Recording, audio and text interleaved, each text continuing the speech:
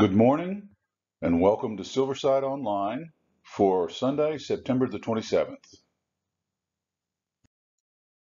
I believe it was shortly after her Senate confirmation to the Supreme Court that Judge Ginsburg said what you see on the screen here. And I'll read it. I'm a judge, born, raised, and proud of being a Jew. The demand for justice runs through the entirety of the Jewish tradition.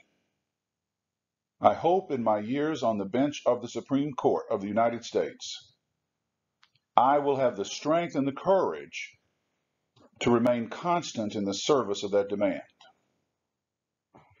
Well, did she ever?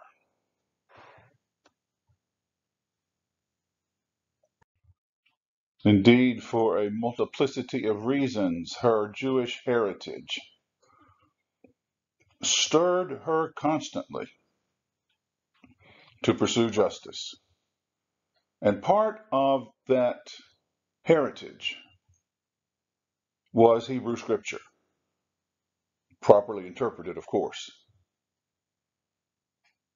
Someone said that what you see on the screen here, not necessarily this particular image, but this verse hung in her chambers at the Supreme Court.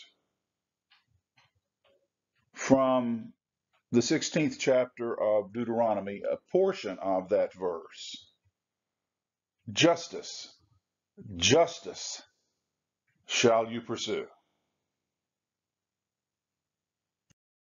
Inspired by Justice Ginsburg, we come to our twin concerns for today. And because of her and her exemplary way of leading, they are twin concerns justice and dissent.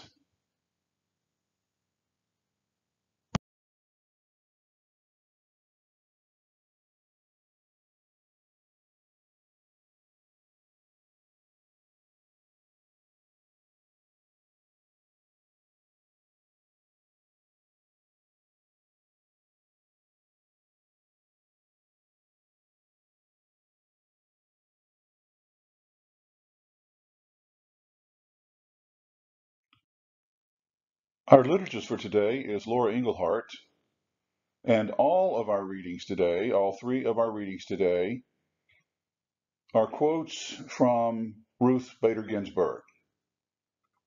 Here now is Laura with the first reading. A primary part of the history of our Constitution is the story of the extension of constitutional rights to people once ignored or excluded.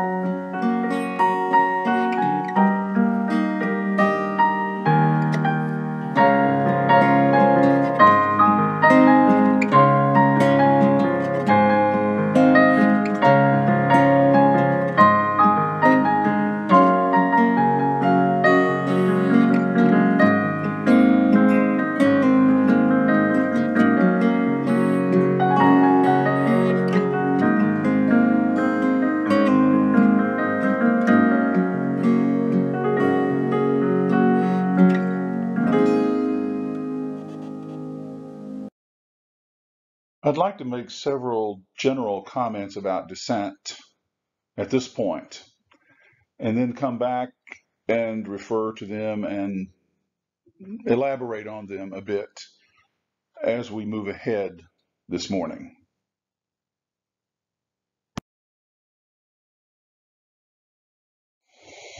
Dissent is rooted in a concern for justice.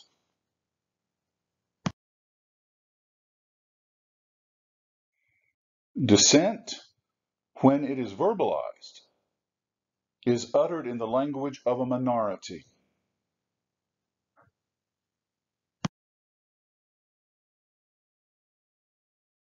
Dissent may be acted out rather than or in addition to being spoken.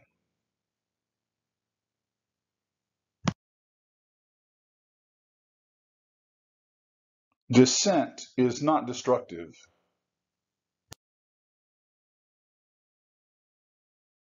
Dissent is often risky.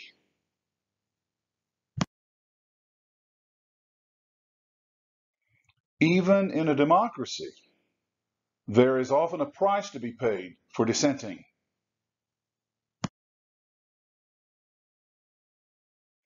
Thus, dissenters are typically courageous.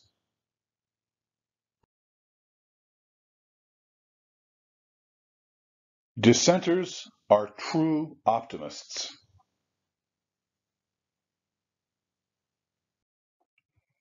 The prayer this morning is a version of the Lord's Prayer um, called the Lord's Prayer for Social Justice.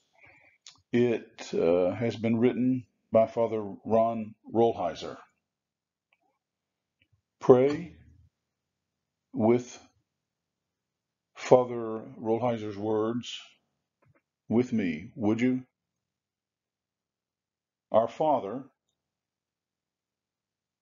who always stands with the weak, the powerless, the poor, the abandoned, the sick, the aged, the very young, and those who, by victim of circumstances, bear the heat of the day.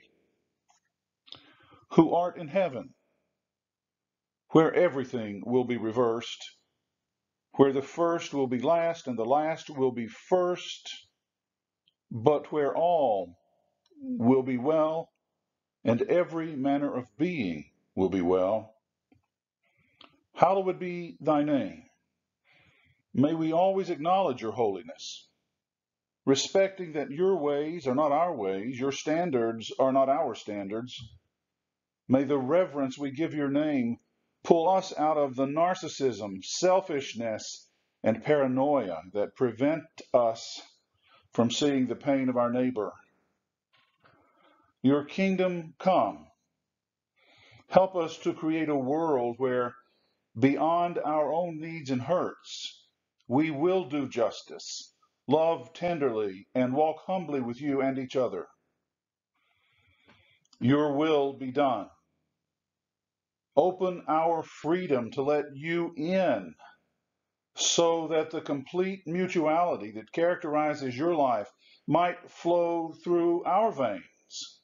And thus the life that we help generate may radiate your equal love for all and your special love for the poor. On earth as it is in heaven. May the work of our hands, the temples and structures we build in this world, reflect the temple and the structure of your glory, so that the joy, graciousness, tenderness, and justice of heaven will show forth within all of our structures on earth. Give life and love to us and help us to see always everything as gift. Help us to know that nothing comes to us by right and that we must give because we have been given to. Help us realize that we must give to the poor not because they need it, but because our own health depends upon our giving to them. Us, the truly plural us, give not just to our own, but to everyone, including those who are very different than the narrow us. Give your gifts to all of us equally this day, not tomorrow. Do not let us push things off into some indefinite future so that we can continue to live justified lives in the face of injustice because we can use present philosophical, political, economic, logistic, and practical difficulties as excuses for inactivity. Our daily bread, so that each person in the world may have enough food, enough clean water, enough clean air, adequate health care, and sufficient access to education so as to have the sustenance for a healthy life. Teach us to give from our sustenance and not just from our surplus. And forgive us our trespasses. Forgive us our blindness towards our neighbor, our obsessive self preoccupation, our racism, our sexism, our incurable propensity to worry only about ourselves and our own. Forgive us our capacity to watch the evening news and do nothing about it. As we forgive those who trespass against us, help us to forgive those who victimize us. Help us to mellow out in spirit, not to grow bitter with age, to forgive the imperfect parents and systems that wounded, cursed, and even ignored us. And do not put us to the test. Do not judge us only by whether we have fed the hungry, given clothing to the naked, visited the sick, or tried to mend the systems that victimized the poor. Spare us this test, for none of us can stand before the gospel scrutiny Give us instead more days to mend our ways, our selfishness, and our systems. But deliver us from evil, that is, from the blindness that lets us continue to participate in anonymous systems within which we need not see who gets less as we get more. Amen. Dissents speak to a future age. It's not simply to say, my colleagues are wrong and I would do it this way. But the greatest dissents do become court opinions and gradually, over time, their views become the dominant view. So that's the dissenter's hope, that they are writing not for today, but for tomorrow. There are status quo types who believe that whoever is in control at a given moment are the people who can establish all the rules. And uh, that includes uh, determining what values will prevail in a community or a society or a nation. Uh, the people in power get to determine what justice is, not the Constitution, reinterpreted for the age in which we live, um, but what the power people want it to be, which um, in, current political uh, trends means uh, preferential treatment for um, all the uh, members of the Trump family and their buddies, uh, even those who have done uh, blatantly illegal things. That's justice for for apparently um, many of the political leaders in the nation right now, and they're on the bandwagon, smiling and grinning because they happen to be in control right now. And uh, Mitch McConnell is uh, the, the ringleader of the non-Trump uh, version of it, which is very much uh, akin to the Trump version of it, but uh, blocking Obama's Supreme Court nominee and leaving the Supreme Court one justice short for many months was uh, what he did politically prior to Trump's election and trying to get a justice uh, pushed through uh, before this upcoming presidential election to sit in the seat vacated by Ruth Bader Ginsburg is now a matter of urgency. Uh, that is uh, what is passing for justice these days. Um, it is impossible to talk about justice without getting political in these times and maybe in all times. The Hebrew prophets in scripture, in Hebrew scripture, as we read about them, are constantly engaged in the political process. So when we try to talk about what is just in this society, because the political realm makes so many decisions that impact so many people, we cannot sit back and fail to comment about what is actually just, what should pass for justice, and what should be called injustice.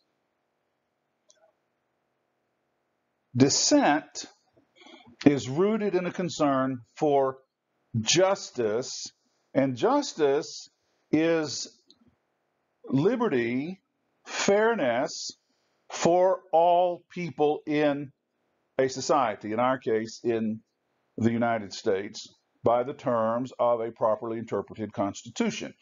All literature has to be properly interpreted and brought up to date. There's a place where Justice Ginsburg describes what the Second Amendment uh, was all about in terms of the use of guns in society. It's very telling and very different than the way the NRA approaches it today. In any case, back to this principle here. Dissent is rooted in a concern for justice. If you're a status quo person and you just go along with whoever happens to be in charge at the moment, even if uh, it's through a stolen election, um, then you don't have any concern for what's going on to to the people who are treated unfairly by the people who are in um, formal power at the moment, because your concept of justice is whatever the power people permit those who are not in power. That sounds nothing like democracy, does it? If it does, then your definition of democracy and my definition of democracy are worlds apart.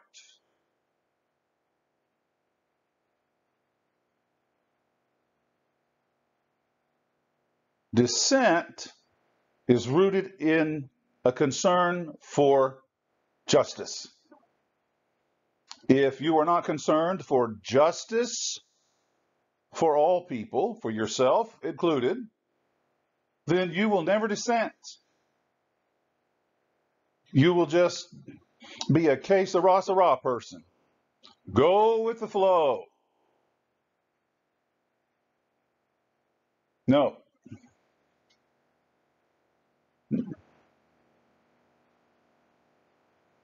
That is not that is not reflective of any kind of concern for justice. Bottom line, people who are concerned for justice probably cannot get through their adult lives without dissenting on a number of occasions.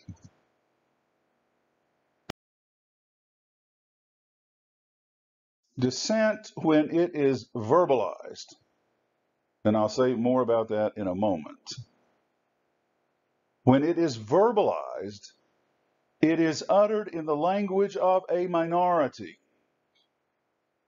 Now, the person dissenting may be in a minority for a moment because of a difference of opinion with the group of people with whom she or he is speaking, or it may be something much more uh, widespread, such as racism.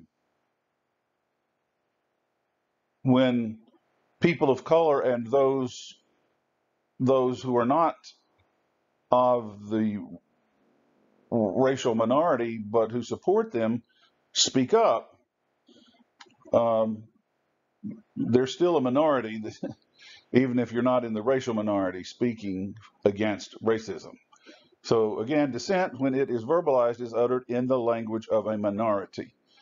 If you're in the majority and you're happy with the way things are going, uh, and many times that is the case, it seems lately that most of the time that is the case, then there's very little reason to dissent. Uh,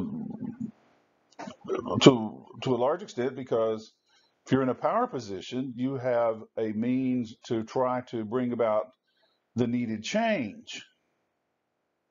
Um, you're not left with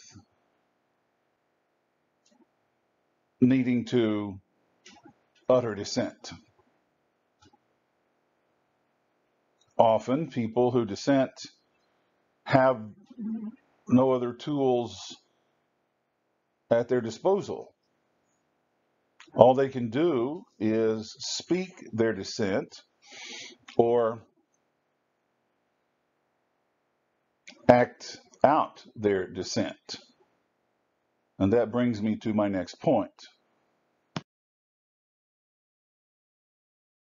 Dissent may be acted out rather than, or in addition to, being spoken.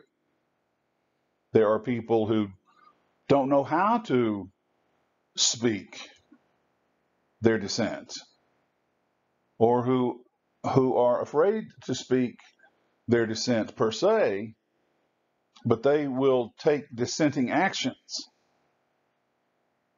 Peaceful protests, for example. Dr. Martin Luther King Jr was a master of leading nonviolent protests. He had been influenced by Gandhi, uh, particularly during his doctoral studies at Boston School of Theology. Nonviolent protest is an acted out form of dissent. You're not listening to what I'm saying, so I'm going to act in a way that I think reflects what ought to be done. A person of color going into a Woolworth's lunch counter where black people are not permitted to sit and sitting there anyway. Rosa Parks sitting at the front of the bus rather than at the back of the bus. That is dissent without anything having been spoken.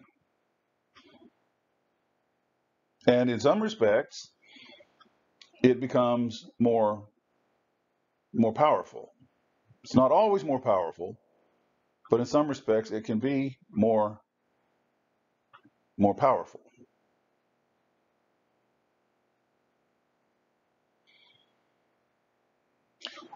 If you are familiar with the sayings of Jesus, where he said a couple of things that sort of are shocking. Uh, well, lots of things that he said are shocking, but these two in particular I have in mind. If somebody strikes you on one cheek, offer them the other.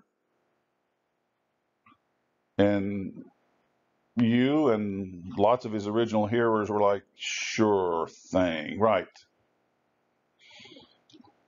If somebody asks you to walk one kilometer, walk two, carry their pack for them a second kilometer. Somebody asks for your outer garment, give them your undergarment too. Well, these aren't acts of generosity, these are acts of dissent in the culture. They were acts of dissent. Roman soldiers could backhand Jewish and other uh, people uh, that Rome held in subservience if they didn't obey. They would backhand them. Um, and then if they didn't get out of the way, they offered them the other cheek, then they would come back at them with a fist or an open hand. And when that happened, culturally, that equalized them. not in the mind of the Roman soldier, but in the mind of the culture.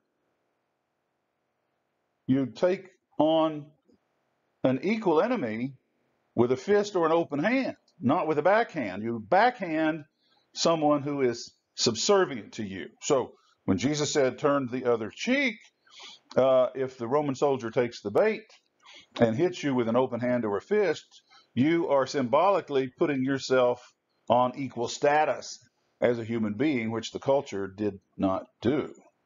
Roman soldiers could command Jews and other people in subservience to the Roman Empire to uh, carry their back, backpack for them because they're tired. They could command them to carry their backpack a kilometer or some measure of distance. Um, and Jesus said, if that happens, go to, because officially Rome had standards by which the, uh, the, the, the Roman police forces, the military police forces who watched after the people in subservience to Rome, um, they Rome could not, the, the Roman military could not abuse people. That was not the standard by which the mighty Roman Empire ruled. Uh, the people had to fall in line in many respects, pay taxes, worship the emperor, and so forth. But the, the, the, the mighty Roman Empire, at least during Jesus' day, was not abusive to um, to the people held in subservience. So, yeah, you could tell a Jewish person to carry your backpack for you, heavy backpack for you, um, a kilometer, but no more. So Jesus said, if that happens to you, go the second kilometer. That is not being like the equivalent of a good Samaritan or something to that effect. Um, that's getting the Roman soldier in trouble. Somebody reports you went beyond what was required, and that gets the Roman that's that's dissent. That gets the Roman soldier in potentially hot water. So again, some acts of dissent are as powerful and maybe even more powerful than speaking dissent. That isn't always the case. Um, the pen can be mightier than the sword, um, and the speech can be mightier than the sword. But sometimes an act of dissent also is very powerful. Though the status quo and the power people don't agree with this, the fact of the matter is honest dissent is not destructive. Honest dissent is not going to a, um, a rally of some sort uh, or a peaceful protest and doing all sorts of damage to people's property when you're there or attacking uh, the people who are against you and trying to stand stand you down at that at that protest. Dissent is not destructive. Dissent is peaceful, calm, um, matter of fact, straightforward. Um, it can draw all sorts of destructive responses from the people whose values and power you threaten when you speak your dissent or act your dissent. But dissent in and of itself is not destructive in terms of hurting people or damaging property. It is upsetting to people who want to live by a different set of values and pretend that the abuse they are heaping upon minority populations is okay. But dissent doesn't hurt people physically or damage their property.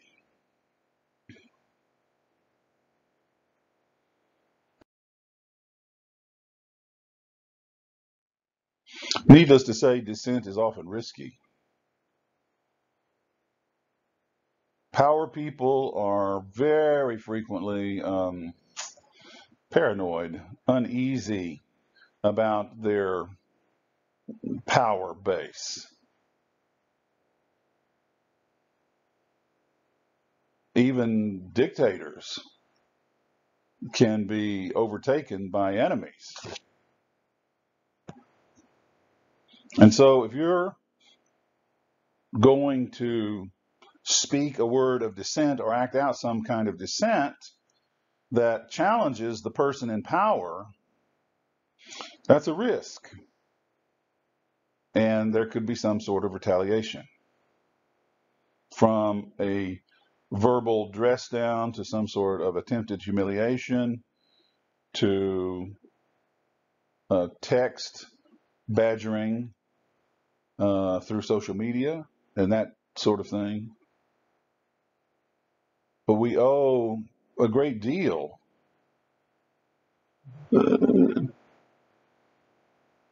those of us who appreciate, recognize, and appreciate the true goodness that has evolved in this culture, despite many failings, we owe everything,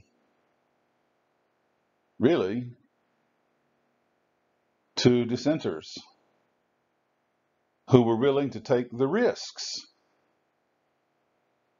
and speak truth to power.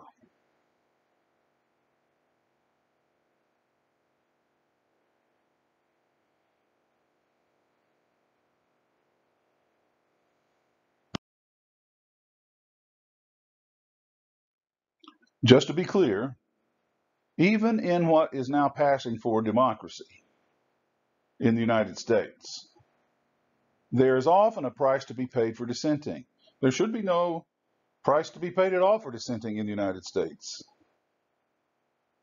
Free speech, democracy should go hand in hand. But that often is not the case. So even in, in the democracy, even our democracy, there's often a price, sometimes a heavy price, sometimes the losing of one's life, a price to be paid for dissenting.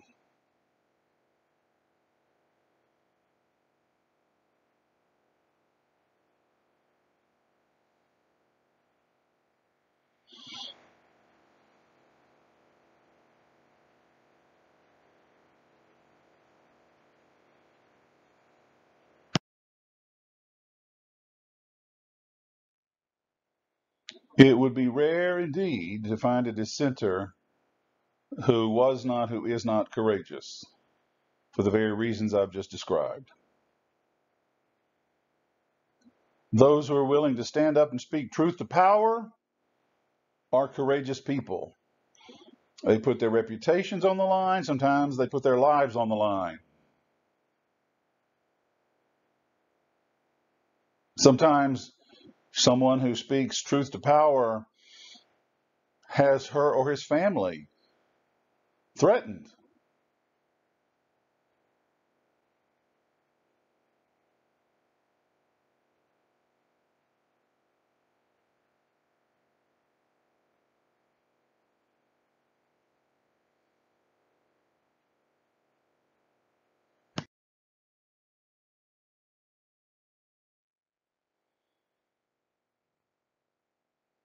In one of Justice Ginsburg's quotes that you have heard or will hear before our online gathering ends today, she said, not in these words, but she said, dissenters are the true optimists. Dissenters are the people who really believe in the future. What you say now may get nowhere, but also what you say now isn't going to go away.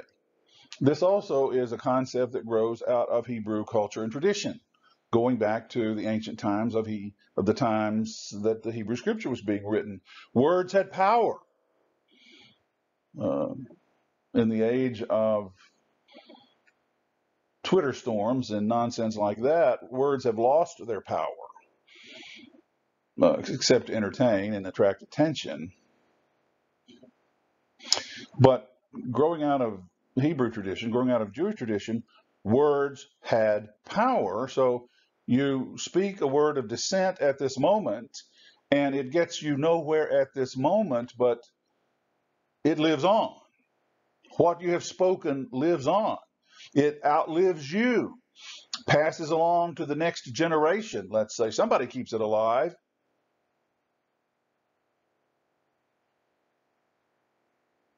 Think about how little Ruth Bader Ginsburg's fellow Jew, Jesus of Nazareth. Think about how little his words were put into practice right when he uttered them. And what a minuscule chance there was that people like us would even know what he said. But that little bit of what he said, and many of you have heard me say many times, at most we can piece together references to 30 days out of a out of a lifetime of, that lasted 30 years. Not whole days, parts of days. limited, limited teachings. Wow. And those teachings have changed the world time and again. So dissenters are optimists. Ruth Bader Ginsburg put up with a whole lot of um, resistance in her lifetime, in her tenure on the Supreme Court.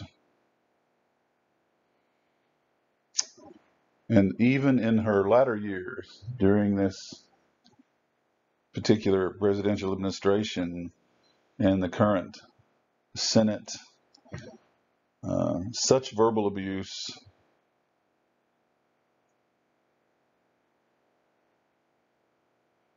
And yet, with all the illness that she had, she continued to stand her ground. And uh, her dying wish, quoted to her granddaughter, as I understand it, was a fervent desire that her spot not be filled until the presidential election was over.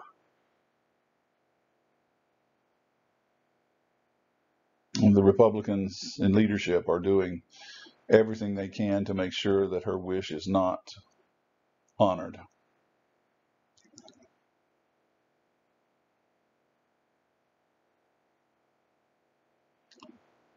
But someday that wish of hers might turn into something that perhaps now it won't turn into.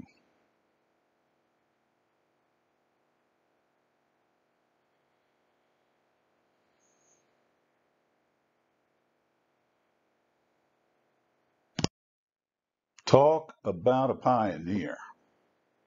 Talk about somebody who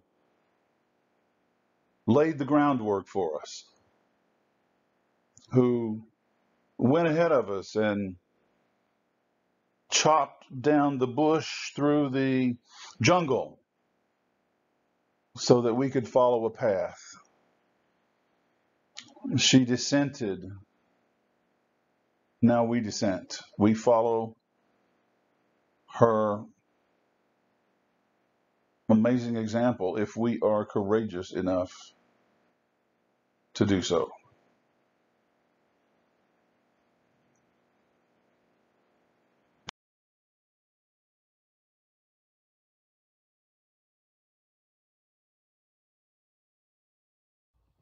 Promoting active liberty does not mean allowing the majority to run roughshod over minorities.